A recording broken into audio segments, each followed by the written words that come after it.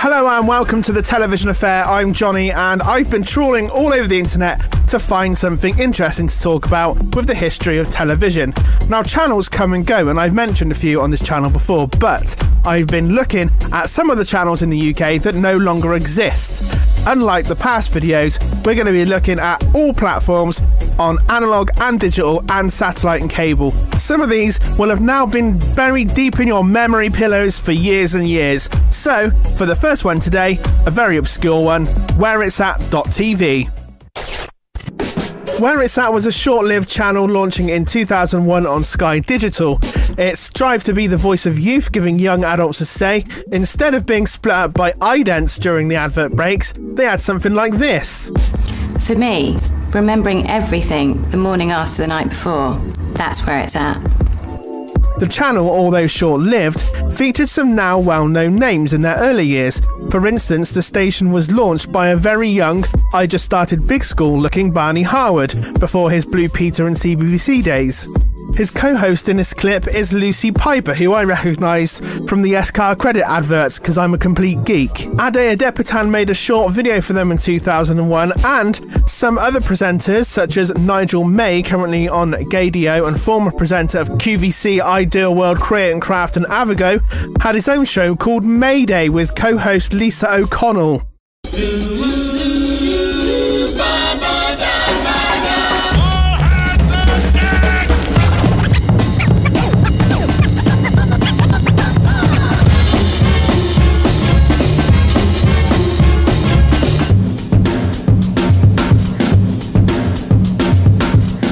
And Rick Adams, former presenter of Nickelodeon and Big Breakfast, and since 2014, he's been a freelance presenter on the Weather Channel in America. Strangely, where it's at broadcast from Nickelodeon's old studios. Live from the heart of old London town,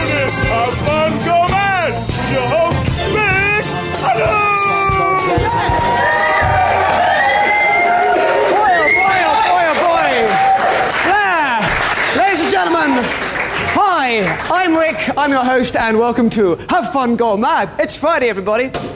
Yes.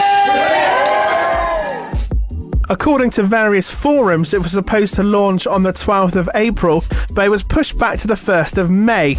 It had a website which is called whereits.at, and I managed to get a few screenshots of it from the Wayback Machine because it's properly dead.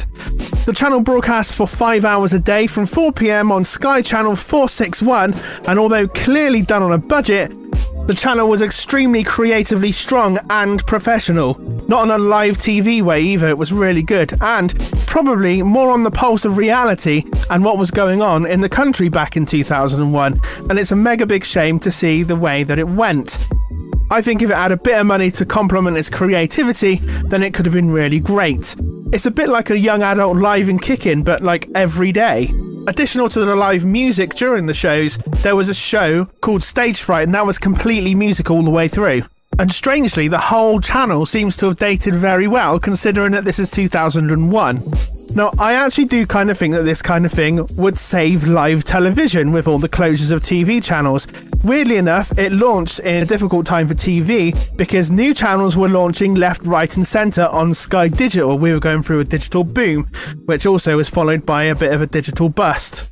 That was evident with ITV Digital, now, I think Where It's At TV was ahead of its time and actually might fare well better in today's television atmosphere because a lot of TV at the moment is on demand and it's nice to have. I think when on demand first came around, it was a nice to have. You know, oh, I can't watch the telly tonight, I'll catch up with it later. But what's happening is TV is eating its own feet and is the cause of its own demise by creating this atmosphere um, and not having linear television slash live television. Now, there are plenty of on demand services online that have the ability to do a live program. You can even do a live stream on YouTube or Twitch or somewhere like that, and it, it works. Because the incentive for people to watch the program is to get involved, to be live on the program as well. So they can send in their voice messages, they can send in texts or emails or whatever it is, uh, Discord messages. You could have a, a live Discord uh, involved with the program. Like, it needs to be an event. Even if the event is a weekly event or even a daily event, right? Television needs to become an event an event that you're there for, and if you don't get involved on that day, then you're too late and there's no other option. You can watch it on demand, that's fine. If you want to catch up with what happened, that's fine, but you're not going to be involved in the party. You're only involved in the party if you're there. Anyway, I think something like this nowadays, especially on a live stream, would be good for new music. If you could get enough people interested in it, then it could become a platform for people for new music, a bit like BBC introducing, but for television. Maybe is why you could format it a bit like. Um, do you remember when I was on about Cable 7's Despicable in episode one, and also Chris Evans' Power Up show uh, that was on BSB? I think something like that might also work in a, a station like that. Anyway, back to 2001, and from what I gather, the channel closed at some point towards the end of 2001 because in early 2002 their website had that message about um, being under destruction. It said on the website it was probably the shortest lived channel. Now, Sky Arts originally lived for eight months, and then uh, BSB's channels, but Galaxy Channel lived for about nine months. So it must have been shorter than that. There has been shorter situations, which I'll go to in a bit, um, but I can't really pinpoint where the channel actually stopped broadcasting or why. According to Digital Spy forums, uh, the channel blamed the 9 11 attacks happening, but obviously, as the website says, they were clearly looking for funds. I think both is plausible. It was clearly a low budget operation and probably didn't have any backups or procedures for major events or obit procedures at that point. But I don't know because actually a lot of the channel looked quite professional. I'm not sure how it works with television, but definitely in the early 2000s, if you were a radio station, you were probably signed up to either Sky News or um, Independent Radio News (IRN), and they would take over for you um, if, like, say, a big event happened, a big incident. Uh, they would be able to um, to give rolling news on that situation. Shockingly, oh, five years later, in April 2007, there was talks of a return with a website update, and also talks of it being a place for new filmmakers being its selling point, but nothing came of it, and by then everyone had forgotten about it anyway. The second channel, well, network really, Select TV. Select TV. Select TV. Select TV. Select TV. Select TV. Cut. That's enough. Select TV. Select TV launched actually before 1997, which means that it should have been in a previous video as it was on analog, but it slipped through the net, so tough. They've spelled Select TV with one T. That's just lazy. I'd have offered you another T if you really needed it. I'd offer some space as well for it, but if you can't be asked, then I can't be asked. Now, originally it was launched by a production company of the same name, so they were mega creative about it, and they'd been producing shows for a fair few years. Funnily enough, to make a TV channel, which they launched in 1995. And in 1996, Select TV production company got sold to Pearson.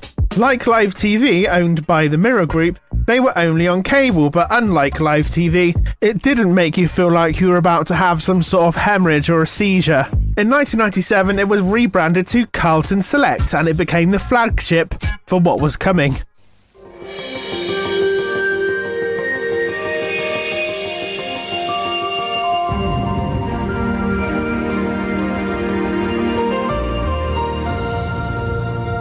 Digital TV was coming in 1997, and the main broadcasters were feeling sexy for it because at one point, not only did Carlton Television have the ITV franchise for London, but it was buying up shares in the other franchises, most notably changing up Central. It already owned Central partially since 1987, and then it had tried to purchase Thames before actually killing it via the franchise win.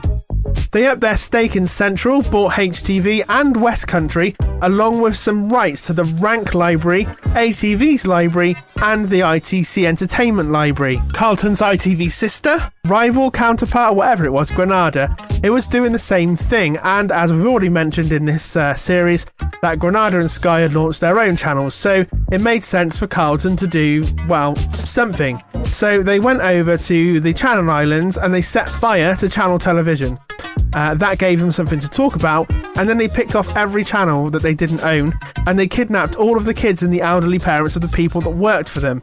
And I need to tell you a secret that didn't happen. In 1997, Carlton was in partnership with BSkyB and Granada to form a new digital network that you could pick up by terrestrial means. This would end up as the On Digital bid, but they would only get the license if Sky buggered off. So Sky had to remain as a rival. They started by a great move, moving into Marco Polo House. Now that should have been a red flag in the first place, considering its previous occupiers. It was them lot, by the way. Now, I also hear a red flag is that the doors in Marco Polo House used to open outwards, and apparently it was one of the only places in the British Isles to do so.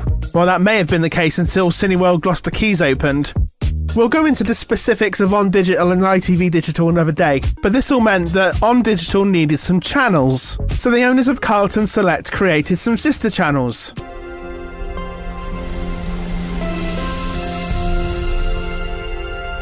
Carlton World was a factual and entertainment channel launching in 1998 and it closed in February 2000 due to poor ratings. Carlton Kids launched in 1998 and it was a kids channel airing some old CITV shows and even a couple of CBBC shows like Byker Grove. Now, many would see this as the forerunner to the CITV channel, but that wouldn't happen until 2006. Carlton Kids closed in January 2000, also due to poor ratings. Bear in mind, On Digital was having issues trying to get people to sign up in the first place, and then it was only available via On Digital or some cable networks. The Carlton Food Network launched in September 1996 on cable and it shared space with Carlton Select. It was renamed to Taste CFN in May 2001 and it closed in December 2001. A few weeks before that closed, UK Food from the UK TV network had launched and it would end up taking up CFN's shows, including some originally produced shows for CFN.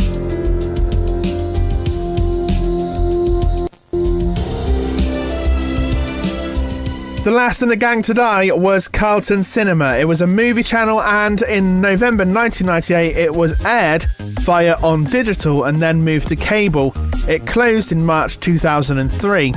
The Carlton name had already left our screens by that point, and the merger with Granada to form ITV PLC had taken place, and it didn't survive through the collapse of ITV Digital. What probably didn't help Carlton Select was the launch of ITV2 in 1998. On the 1st of March 2000, Carlton Select was closed and it would never be seen ever again. It wouldn't be the last time we see an ITV associated channel called Select, but we'll go into that on the next episode. Now, a fun fact for you is that the company that was originally called Granada Sky Broadcasting still exists, kind of. It owns ITV's 2, 3, 4, ITVBe, and until recently, CITV. It's no longer called Granada Sky Broadcasting because ITV bought Sky's share in 2004, shortly after Men and Motors closed, and now it's called ITV Digital Channels. They own the next channel that we're going to be looking into today, and it's called Merit.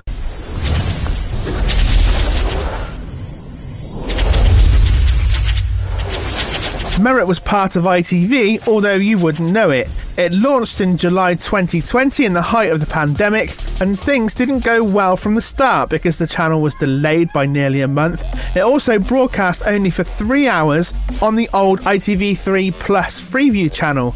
It was apparently a lifestyle channel, but it didn't have any original content, and it also didn't have adverts. Now, the Freeview license was then sold to Sky in August 2020, and less than a month after it launched, it closed in September 2020. Merit lasted 1 month and 19 days, and that's got to be the shortest lived channel I've covered, if not the shortest lived channel that existed in the UK. The channel was used in a reshuffle involving Pick to add Sky Arts to Freeview, and then that was it. Never heard of ever again. So there you go. In the next episode, we'll have more defunct stations, and I'll be looking at the ITV digital network, along with another short lived ITV channel and a channel that lost its license. That's it from me for today's video. If you liked it, press like, share it, comment, subscribe, and all do whatever. Uh, now you can support the channel by becoming a supporter, team member, or executive producer. Press join to find out how. Today's executive producer was Computer Tom. Thanks for watching. I've been Johnny Robinson, and I'll still be Johnny Robinson after this video's finished. Thank you, bye.